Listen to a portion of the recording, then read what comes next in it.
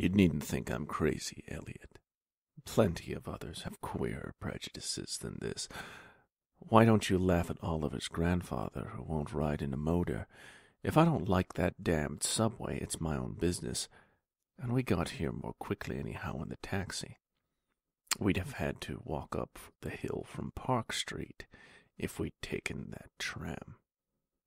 I know I'm more nervous than I was when you saw me last year, but you needn't hold a clinic over it. There's plenty of reason, God knows, and I fancy I'm lucky to be sane at all. Why the third degree? You didn't used to be so inquisitive. Well, if you must hear it, I don't know how you shouldn't.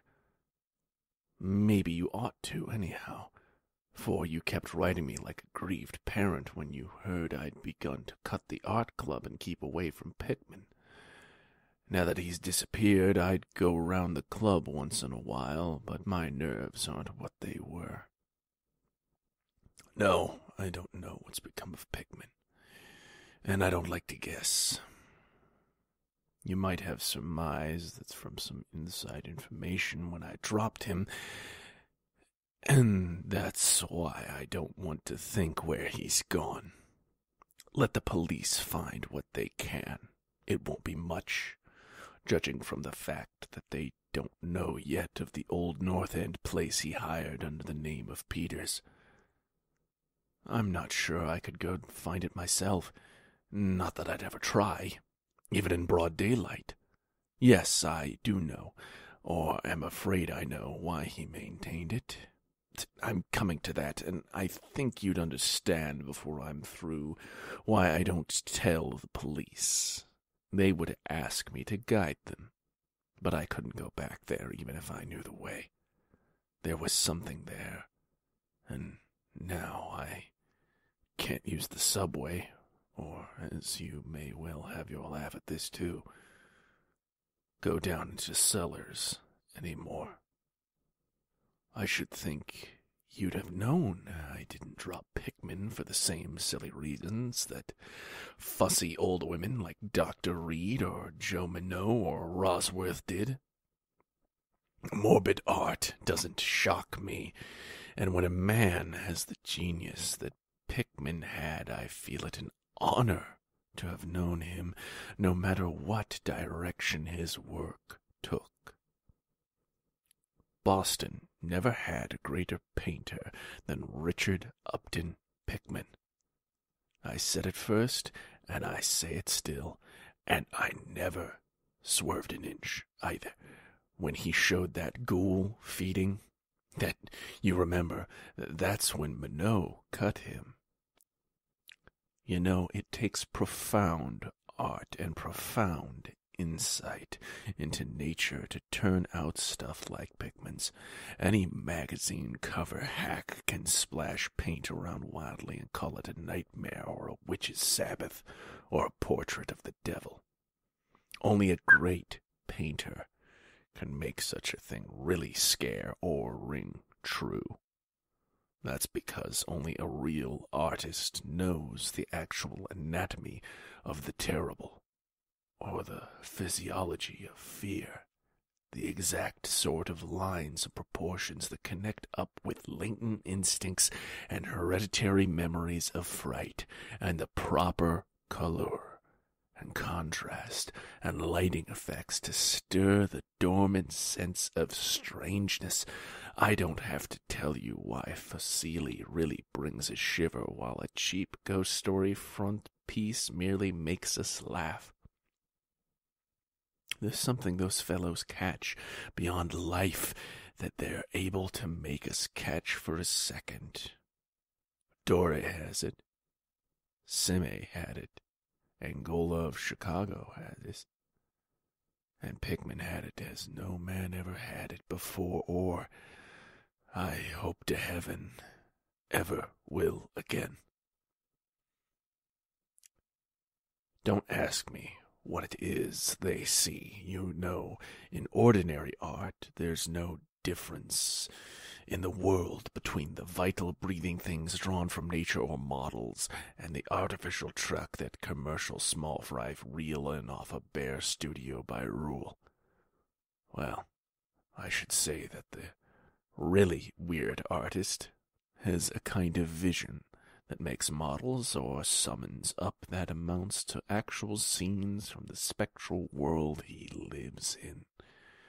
Anyhow, he manages to turn out results that differ from the pretender's mince pie dreams in just about the same way that the life painter's results differ from the concoctions or the correspondence of a school cartoonist.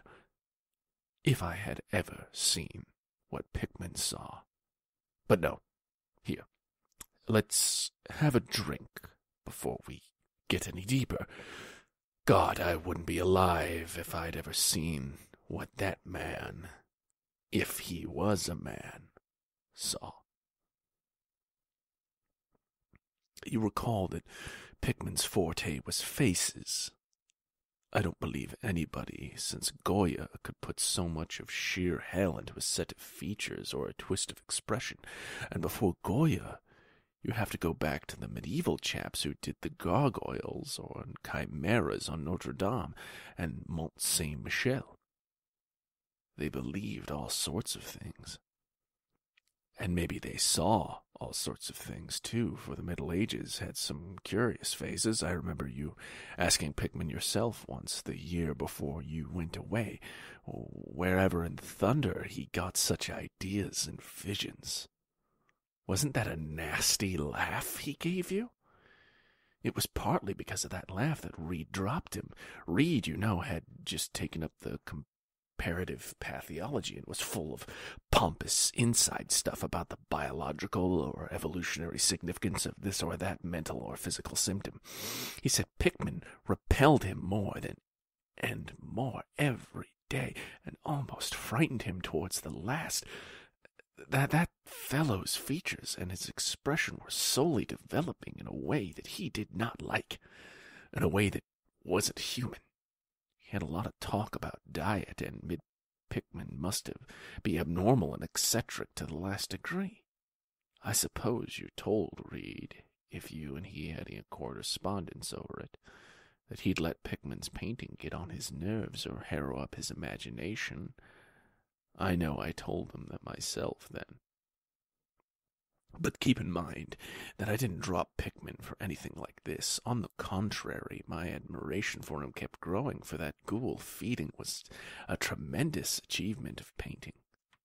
As you know, the club wouldn't exhibit it, and the Museum of Fine Arts wouldn't accept it as a gift, and I can add that nobody would buy it, so Pickman had it right in his house till he went. Now his father has it in Salem, you do know that Pickman comes of old Salem stock and had a witch ancestor hanged in 1692. I got into the habit of calling on Pickman quite often, especially after I began making notes for a monograph on weird art. Probably it was his work which put the idea into my head, and anyhow, I, I found him a mine of data and suggestions when it came to develop it. He showed me all the paintings and drawings he had about, including some pen and ink sketches that I would verily believe have gotten him kicked out of the club, if many of the members had seen them. Before long, I was pretty nearly a devotee, and would listen for hours like a schoolboy to art theories and philosophic speculations wild enough to qualify him for the Danvers Asylum. My hero worship, coupled with the fact that people generally were commencing to have less and less to do with him, made him get very confidential with me. And one evening he hinted that if I were fairly close mouthed and none too squeamish, he might show me something rather unusual. Something a bit stronger than anything he had in the house. You know, he said, there are things that won't do for Newbury Street. Things that are out of place here, that can't be conceived here anyhow.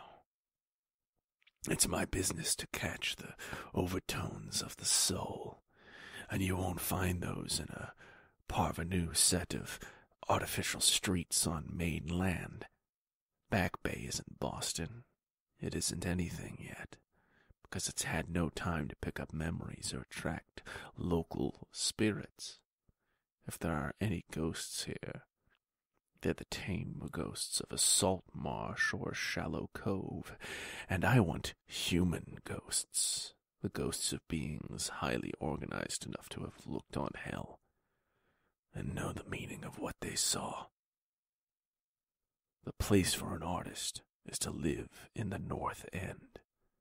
If any aesthete or sincere, he'd put up with the slums for the sake of the massed millions. God, man!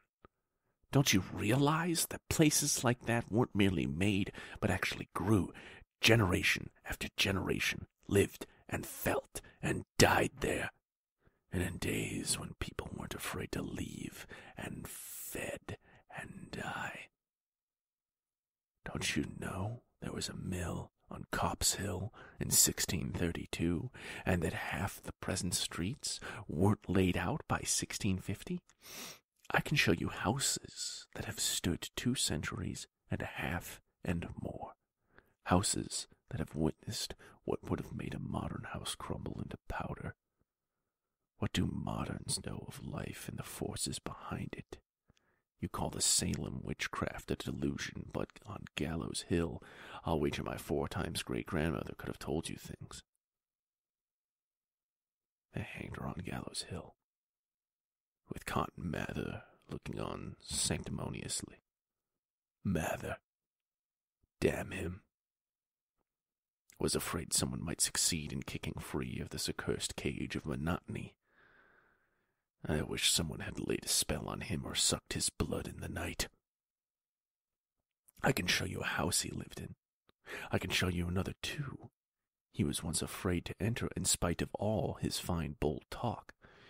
He knew things he didn't dare put into that stupid Magnalia or the puerile wonders of the invisible world. Look here. Do you know that the whole of the North End once had a set of tunnels that had kept certain people in touch with each other's houses, and the burying ground, and the sea? Let them prosecute and persecute above ground. Things went on every day that they couldn't reach, and voices laughed at that night that they couldn't place. Why, man, out of ten surviving houses built before 1700 and not moved in since, I'll wager that in eight I can show you something queer in the cellar. There's hardly a month that you don't read of workmen finding bricked up arches and wells leading nowhere in this or that old place as it comes down. You could see one near Henchman Street from the elevated last year. There were witches and what their spells summoned, pirates and what they brought in from the sea, smugglers, privateers, and I tell you, people knew how to live and how to enlarge the bounds of life in the old times. This wasn't the only world of bold and wise men could know. Fa! And to think of today in contrast with such pale pink brains that even a club of supposed artists gets shudders and convulsions if a picture goes beyond the feelings of a Beacon Street tea table. The only saving grace of the present is that it's too damned stupid to question the past very closely. What do maps and records and guidebooks really tell of the North End? At a guess, I'll guarantee to lead you 30 or 40 alleys and networks of alleys north of Prince Street that aren't suspected by 10 living beings outside of the foreigners that swarm them. And what do those Dagos know of their meaning? No, Thurber, these ancient places are dreaming gorgeously and overflowing with wonder and terror and escapes from the commonplace, and yet there's not a living soul to understand or profit by them.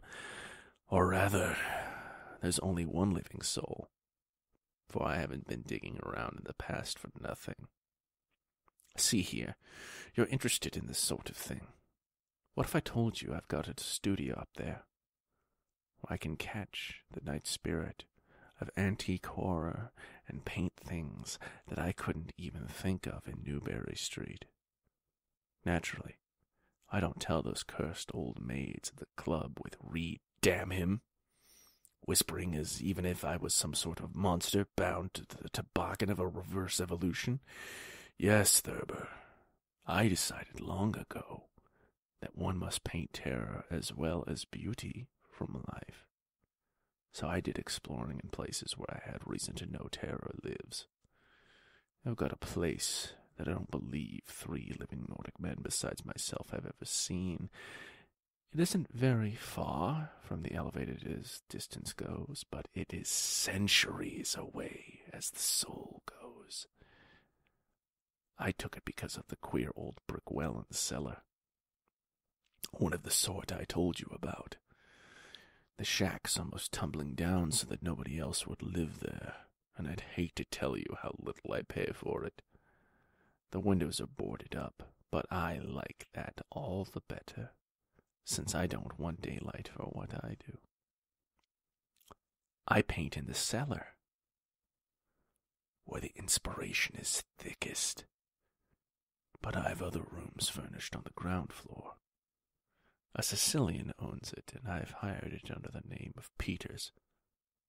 Now, if you're game, I'll take you there tonight. I think you'd enjoy the pictures, for, as I said, I've let myself go a bit there. It's no vast tour. I sometimes do it on foot, for I don't want to attract attention with a taxi in such a place. We can take the shuttle at South Station for Battery Street, and after that the walk isn't much. Well, Elliot, there wasn't much for me to do after that harangue that, uh, but keep myself from running instead of walking into the first vacant cab we could out of sight.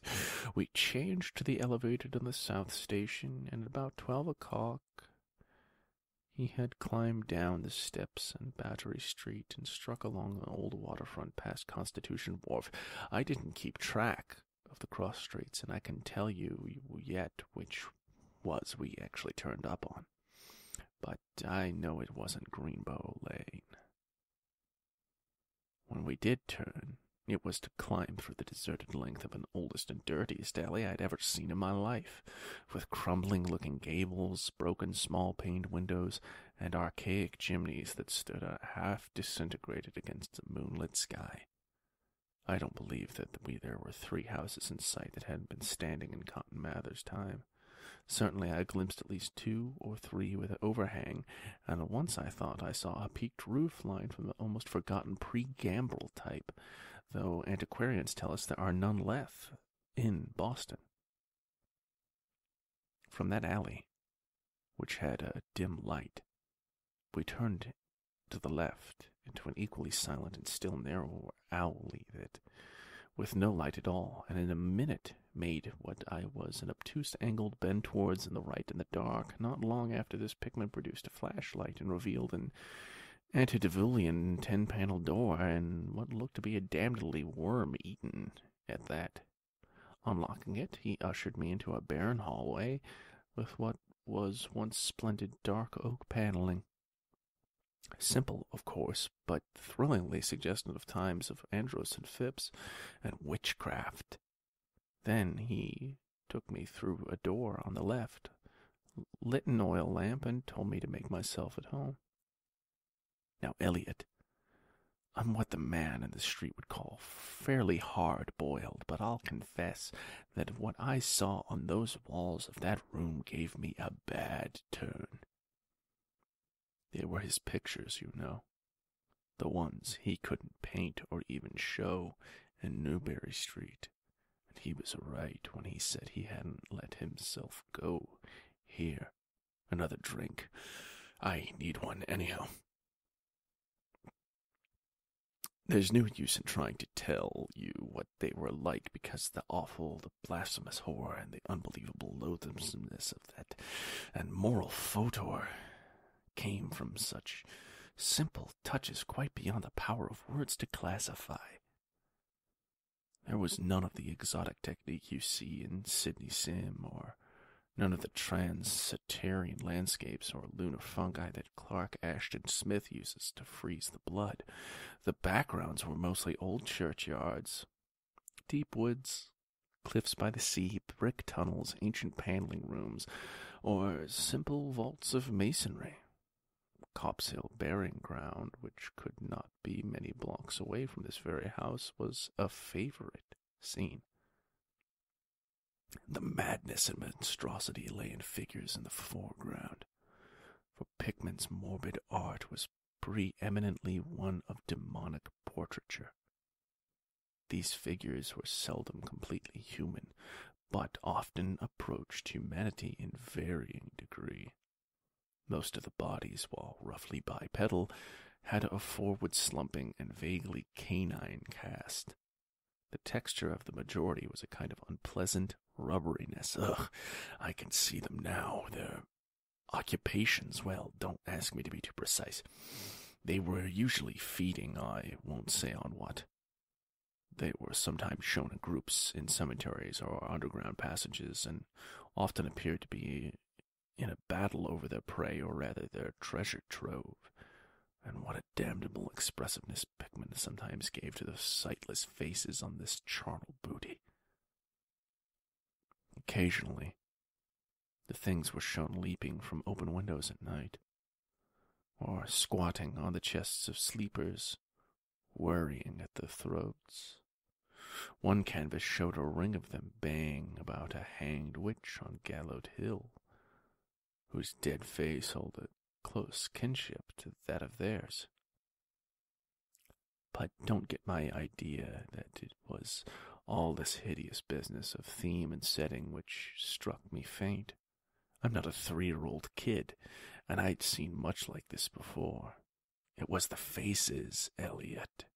Those accursed faces that leered and slavered out of the canvas with the very breath of life. By God, man, I verily believe they were alive.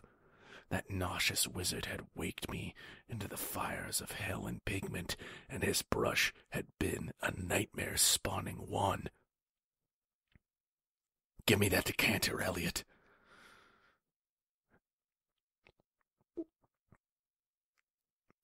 There was one thing called the lesson.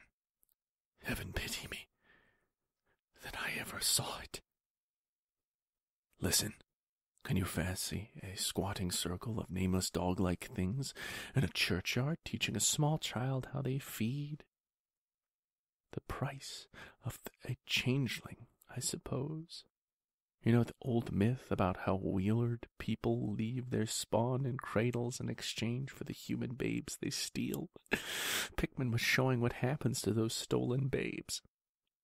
How they grow up and then I began to see a hideous relationship in the faces of the human and non human figures he was, and all his gradations of morbidity between the frankly non human and the degradedly human, establishing a sardonic linkage and evolution. The dog things were developed from mortals. And no sooner had I wondered what he made of their own young as left with mankind in that form of changelings, than my eye caught a picture of embodying that very thought. It was that of an ancient Puritan interior, a heavily beamed room with lattice windows, a settle, and clumsy 17th century furniture, with a family sitting about while their father read from the scriptures. Every face but one showed nobility and reverence, but that one reflected the mockery of the pit. It was of that of a young man in years, no doubt belonging to a supposed son of a pious father, but in essence it was the kin of these unclean things. It was their changeling. And in a spirit of supreme irony, Pickman had given the features a very perceivable resemblance to his own. By this time, Pickman had lighted a lamp in an adjoining room and was politely holding open the door for me, asking if I would care to see his modern studies. I hadn't been able to give him much of my opinions. I was too speechless with fright and loathing, but I, I think he fully understood and felt highly complimented. And now I want to assure you again, Elliot, that I am no mollycoddle to scream at anything which shows a bit of departure from the usual, but I'm middle aged and decently sophisticated, and I guess you saw enough of me in France to know I'm not easily knocked out. Remember, too, that I just about recovered my wind and gotten used to these frightful pictures when I turned colonial New England as some kind of annex of hell. Well, in spite of all of this, that next room forced me a real scream, and I had to clutch at the doorway to keep from keeling over. The other chamber had shown a pack of ghouls and witches overruling the world of our forefathers, but this one brought the horror right into our daily life. God, how that man could paint! There was a study called Subway Accident in which a flock of the vile things were chambering up and down some unknown catacomb through a crack in the floor of a Boston street subway and were attacking a crowd of people on the platform. Another showed a dance on Copp's Hill amongst the tombs with the background of today. There were any number of cellar views, with monsters creeping in through holes and rifts in masonry and grinning as they squatted behind barrels or furnaces and waited for their first victim to descend the stairs. One disgusting canvas seemed to depict a vast cross section of Beacon Hill, with ant like armies of the mephitic monsters squeezing themselves through burrows that honeycombed the ground. Dances in the modern cemeteries were freely pictured, and another conception somehow shocked me more than the rest. A scene in an unknown vault, where scores of the beasts crowded about one who had well known Boston guidebook and was evidently reading it aloud. All were pointing to a certain passage, and every face seemed so distorted with epileptic and reverberant laughter that I almost thought I heard the fiendish echoes. The title of the picture was Holmes, Lowell, and Longfellow lie buried in Mount Auburn. As I gradually steadied myself and got readjusted to the second room of delivery and morbidity, I began to analyze some of the points in my sickening loathing. In the first place, I said to myself, these things repelled because they utter inhumanity and callous crudity. They showed in Pickman the fellow must be a relentless enemy of all mankind to take such glee in the torture of the brain and the flesh and the degradation of the mortal tenement. In the second place, they terrified because of the very greatness. Their art was the art of that convinced.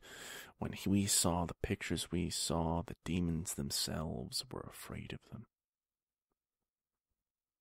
And the queer part was that Pickman got none of his power from the use of selectiveness or bizarre. Nothing was blurred, distorted, or conventionalized. Outlines were sharp and lifelike, and the details were painfully defined. And the faces! Dear God, the faces! It was not like any mere artist's interpretation that we saw. It was pandemonium itself, crystal clear in stark objectivity. That was it, by heaven. The man was not a fantasy or a romanticist by all. He did not even try to give us the churning, prismatic ephemera of dreams but coldly and sardonically reflected from stable, mechanistic, and well established horror world which he saw fully, brilliantly, and squarely, and unfalteringly.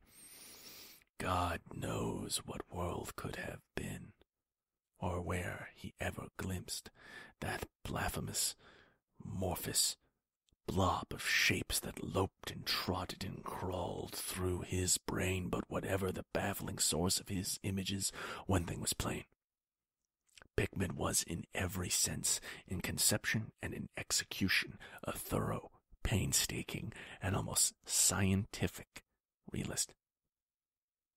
My host was now leading me away down to the cellar to his actual studio and I braced myself for some hellish efforts among the unfinished canvases.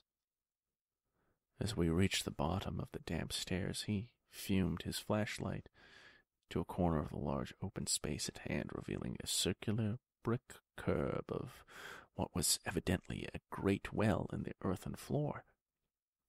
He walked nearer, and I saw that it must be five feet across, with wells a good foot thick and some six inches above the ground level. Solid work of the seventeenth century, or I was much mistaken. That, Pickman said, was the kind of thing he had been talking about. An aperture of the network of tunnels that used to undermine the hill. I noticed idly that it did not seem to be bricked up and that a heavy disk of wood formed the apparent cover, thinking of the things this well must have been connected with if Pickman's wild hunts had been more mere rhetoric, I shivered slightly, then turned to follow him, up a step and through a narrow door into a room of fair size, provided with a wooden floor and furnished as a studio. And a ceiling gas outfit gave the light necessary for work. The Unfinished pictures on easels or propped against the walls were as ghastly as the finished ones upstairs, and showed the painstaking methods of this artist. Scenes were blocked out with extreme care, and penciled guidelines told of a minute executitude which Pickman was in getting the right perspective and proportions. The man was great, I say it even now, knowing as much as I do. A large camera on a table excited my notice, and Pickman told me that he used it in taking scenes for backgrounds, so that he might paint them from photographs in the studio instead of carting his outfit around the town for this or that view. He thought a photograph quite as good as an actual scene or model for sustained work and declared he employed them regularly. There was something very disturbing about the nauseous sketches and half finished monstrosities that leered around from every side of the room. And when Pickman suddenly unveiled a huge canvas on side away from the light, I could not for my life keep back a loud scream. The second I had admitted for that very night.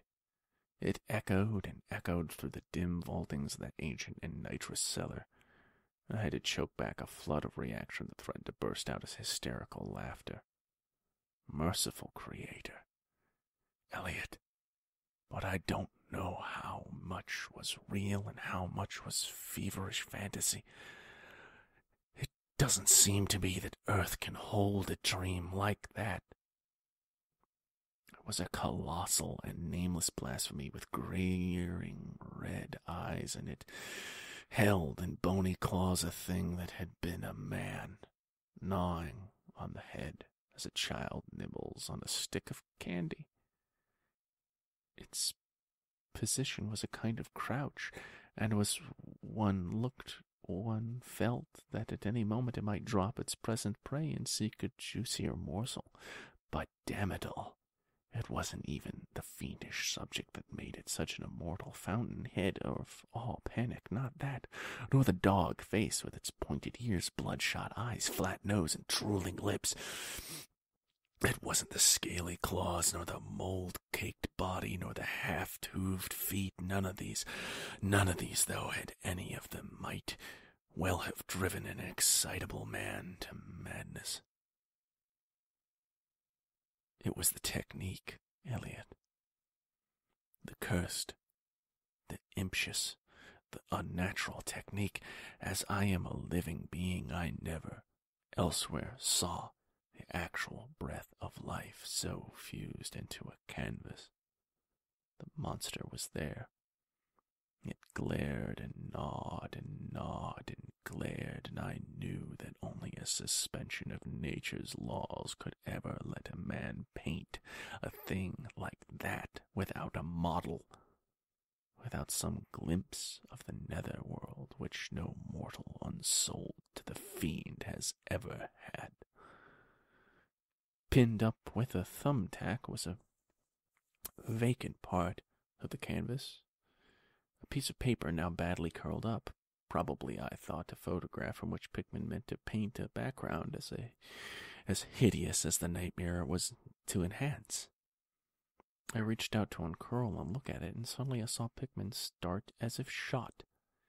He had been listening with peculiar intensity ever since my shocked scream had waked unaccustomed echoes in the dark cellar, and now he seemed struck with a fright which though not comparable to my own, had in it more of physical than a spiritual.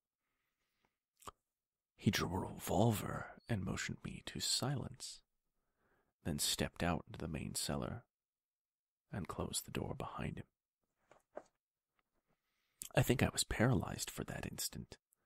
Imitating Pickman's listening, I fancied I'd heard a faint scurrying sound somewhere, and a series of squeals or beats in a direction I couldn't determine. I thought of huge rats and shuddered.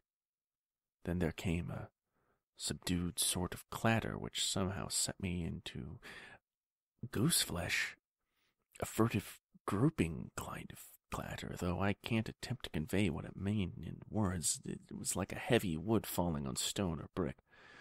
Wood on brick. What did that make me think of? It came again, and louder. There was a vibration as if the wood had fallen further than it had been fallen before. After that followed a sharp grating noise, a shouted gibberish from Pickman, and a def- deafening, deafening discharge of all six chambers of a revolver, fired spectacularly as a lion tamer might fire into the air for effect. A muffled squeal or squawk, and then a thud. Then more wood and brook grating. A pause and the opening of a door, at which I'll confess I started violently. Pickman reappeared with his smoking weapon, cursing the bloated rats that infested that ancient well. The deuce knows what they eat, Thurber, he grinned. For those archaic tunnels touched graveyard and witch den and seacoast. But whatever it is, they must have run short, for they were devilish anxious to get out. Your yelling stirred them up, I fancy. But be cautious in these old places. Our rodent friends are the one drawback. Though sometimes I think they're a positive asset by way of atmosphere and color. Well, Eliot, that was the end of the night's adventure. Pickman had promised to show me the place, and heaven knows he had done it. He led me out of that tangle of alleys in another direction, it seems, for when we sighted the lamp post where we were in a half familiar street with monotonous rows of mingled tenement blocks and old houses. Charter Street, it turned out to be, but I was too flustered to notice just where we hit it.